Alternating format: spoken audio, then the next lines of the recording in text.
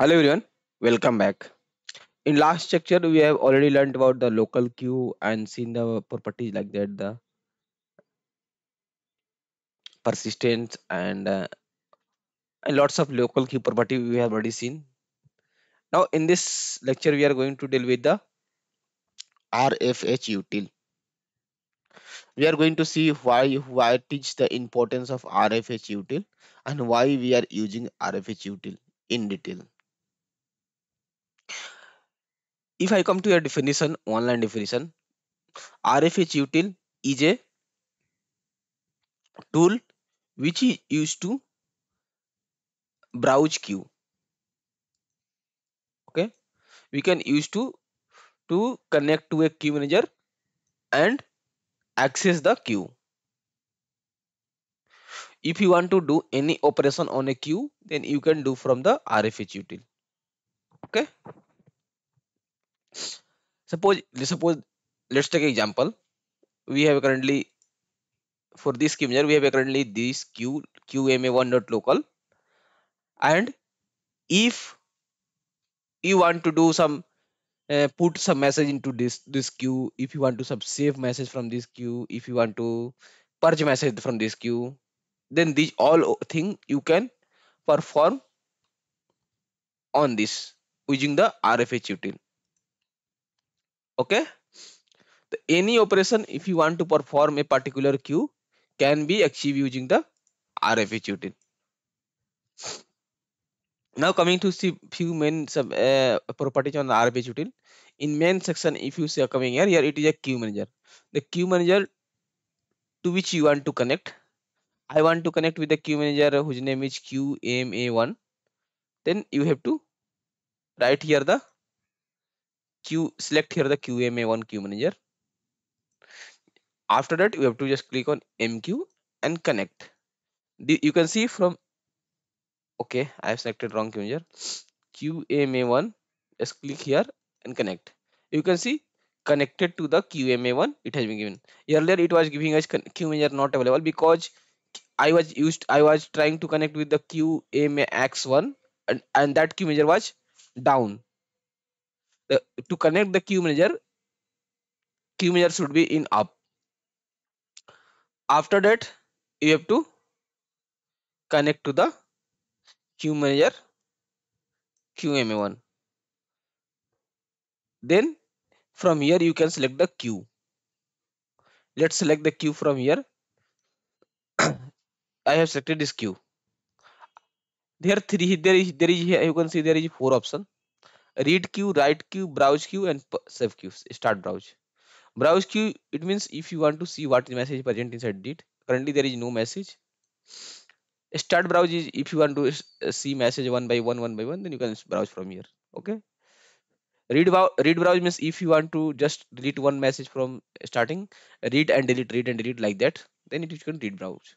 Route write is is, is called is, is used to write the message into the queue if you want to some uh, uh, put some message into, inside this queue then you use to write queue.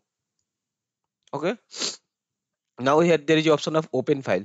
This is used to select the file that you want to select the message you want to se- select the message that you want to uh, put into this queue. Let me select op, click on the open file. There are lots of file already i have made it. Let's take this example that is transaction.xml i have selected this file. You, you can see from here what file i have selected. I have selected this file. Transaction that the, transaction number date quantity these all files are present data present are. If you want to put this currently into this queue just you have to click on write queue. Once you put into this queue after that you can see currently the queue depth is one. From here you can also from here you can also see the queue depth will be one. And same message will be present in the queue if you if you browse message from here itself you will, you will be able to see that that message. Same message message data you can see. Okay. Now coming to the this is the way how much you can write the message. Okay. Now if you want to read queue it will delete first message from the beginning you can see one message deleted. It will delete first message from reading it is basically preferred if you just like consider like that. I just browse the message. I have read this message and this message is not required to me. I what i am going to do? I am going to read queue and again i am going to see the another message. This message also not required to me. Then again i am going to read queue. Read read queue is used to uh, read the next message from the specific queue read means you want to delete the message from that queue. Write is used to put the message into the queue. Browse queue is used to browse the message. If you want to browse a particular message you can browse queue. Now start browse is used to see the message sequentially. First message sent here. Again if you click on browse next second message third message fourth message fifth message these all message can be seen from the using the browsers. If you want to browse pre previous then you can browse previous. Similarly now coming to the here browse next here end browse if you want to end the browsing then you click on end browse. Now coming to the display queue. Display queue is to display the all message present inside the queue. You can see this and what are the properties present everything you can display from here. If you want to select a particular fifth message then you have to click on fifth and click on start browse. It will display only fifth message from here. You can check from. If you want to check a particular message then you have to display queue select that message and click on start browse. It will you can see from particular that message. Okay? Now coming to the purge queue purge queue is used to purge the all message from the queue. If you click on purge queue all eight message will be deleted. Let me do. You can see all eight messages will be deleted. The purge queue is to purge the message. Now let me again write the message. Now save queue save queue is used to save the message. If you want to save the message in a particular file then you, you, we prefer to use the save queue save queue we used to save the message into in form of file if you want to save the that seven message you can do the save queue. If i click on save queue here option came where you want to save. If i want to save here itself just click on either you can save in form of folder. Then let me write some message folder like that. I want to save in some folder. Then after that in folder just you can write any name of the file. I am writing the file. Sorry file then click on open. Here it will become the two option. After save saving after uh, saving this message you want to delete from the queue or you from the queue or not remove. If you click on no then all message will be there. We you are only going to save that message in form in your local system. If you click on yes all seven message is going to deleted from that queue. Let me do yes. Here is to form option one file or many file? One file is used in case uh, in in in, in case uh, let's say all seven message if you want to save in form of one file then it is coming as a one file. If you are selecting file per message then each message will be saved into a one file. First message in one file second message one file third message one file fourth message one file similarly seventh message one file if you are selecting one file then all seven message will be selected for will be uh, in form of one file. I am currently doing the file per message. I want to save, in, uh, save all seven message uh, separately. Here option came here option came. What is the range of message you want to save? You can select any range. If i want i want if you want to select from only seventh message you have to click on the start message is seventh and how much message? The currently max count one. So what is the range of message you want to save? You can select from here itself. The, if i want to select only fifth message then start message will be fifth and the max count will be one. If you want to select the fifth sixth seventh message the start count will be fifth and the max count will be three. The max count will how much message you want to save it.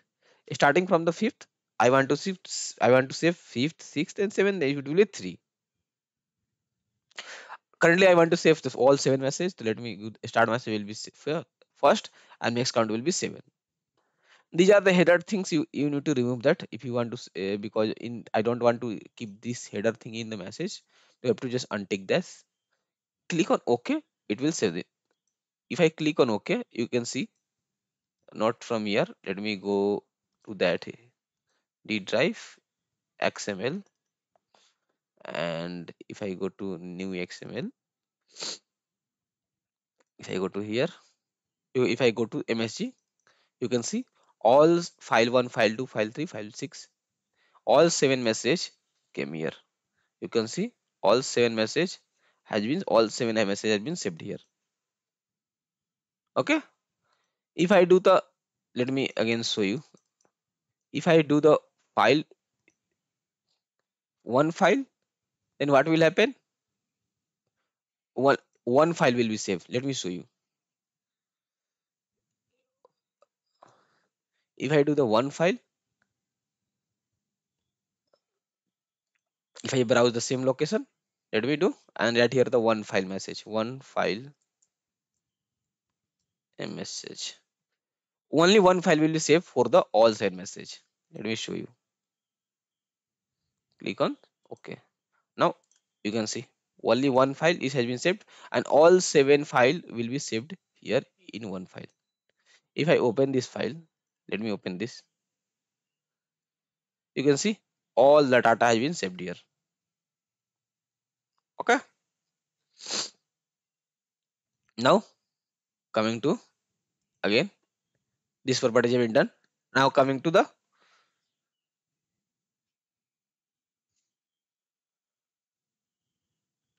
load queue.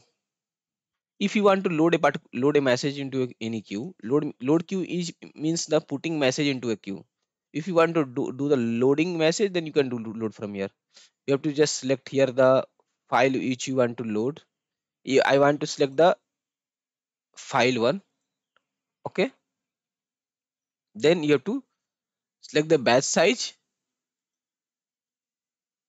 and file per message you can select. Just click on load. It will load all message to this queue qma1 let me click ok. You can see all seven messages will load. How this pattern happen? Basically logic follow like that. Let me show you. Load queue means loading message to this queue load queue means loading message to this queue so if if uh, if you do we have two options. Either you can select file per message. The what are the file follow what is the file pattern it follow it will load that. If you see here file file 1 file 2 file 3 file 5 file 6 a pattern getting follow. If the same pattern follow like that then it will load all message. Okay? If one file you have selected it will load the that one file with the seven message. So let me show you that if I selected the one file and if I click on OK, you can see all next seven message has been loaded. The load queue is to load the message to a queue. Either you can load file per message. It means you can file matching pattern you can load into the queue or you can do the one file. One file you have select, select save the seven message, 20 message, whatever message you have saved, you can load into directly into the queue okay. Now this is the one of the benefit of the load queue. Now coming to the move queue. Move queue is to move the message into another queue. Let me create another queue and to save show you. Let me just create a one queue. That is the qm dot local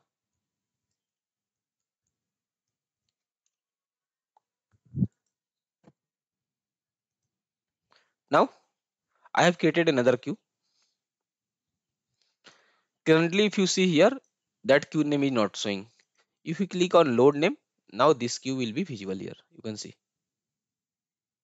Now coming to the this queue. If currently this queue has 14 message and you can see this queue has not a single message. If I want to move some message from the QMA1 not local to qm.local and how we can move it? Here move queue come into picture. With the help of move queue we can move it. Just we have to select the which queue you want to move and how much message you want to move it.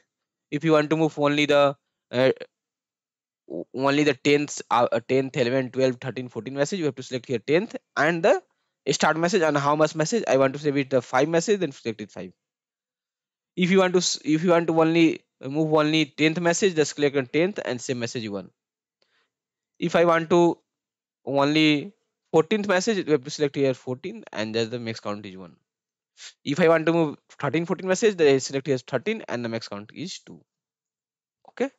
Now coming but i want to move all 14 messages to select let's select one here. And max count is 14 then select 14 now click on move. Now you can see this queue has currently depth at 0 and this queue qm.local will be all 14 message. All 14 messages in qm.local so now we have learned about the read queue is to read the message write queue is to write the message browse queue is to browse the message start browse is to start browse the message. Now coming to end queue end browse is to end browse the open file is to select the file which you want to put the message into message now coming to the load name is to load the name of the queue. Save queue is to save the save the message in- uh, save the message in form in local system. Load name is to load the load the file inside the queue. Display is queue is to display the message present inside the rf util and select the particular message. Again purge queue is to purge all message from the queue. Move queue is to move the message from a one queue to another queue these all are the properties of the rf util mainly you getting used. Okay? Now this is the main segment. In main segment these all properties I have, have we have learned and these all are the main property. Now coming to data section. Here you will see the data what are the message data present you will see here okay? Now mq if, if you came to mqmd in mqmd we are going to see the message header property every message has some header property where it has been put into the queue what is the user id what is the backout queue count and every property wha- lots of property each uh, related queue is qma1 everything lots of property for a particular queue is there that is called the header. The header header details we are going we are going to get in the mqmd similarly you have some ps these are not so much important. Now coming to usr if you are using the integration development toolkit. Uh, in case some failure getting happen then you are getting the uh, detail into usr the f- if you are getting the failure information of a particular message then this information we are getting in the usr section. Then similarly other is not such important. These all are not important. You know coming to dlq dlq if the message uh, if the if the, the currently this queue is the local queue if this queue will be the dead letter queue and if failure happen to that, dead letter queue then you are going to get the queue details in the dead letter queue okay? So if this queue will be a dead letter queue and if you are then queue details will be seen here itself. What is the queue details of that failure queue what is the queue details? Everything will you are going to get the details here itself. What is the application put name everything you are going to get the detail in case of dead letter queue then you are going to get detail here itself. Okay? This is this is all about the rfh util and hope you have enjoyed this lecture. Again if you have any doubt you can me drop me a mail to a learn and gmail.com we'll again meet with the next lecture uh, and hope this will be an interesting uh, video. And we have enjoyed the lesson. Thank you thank you all thanks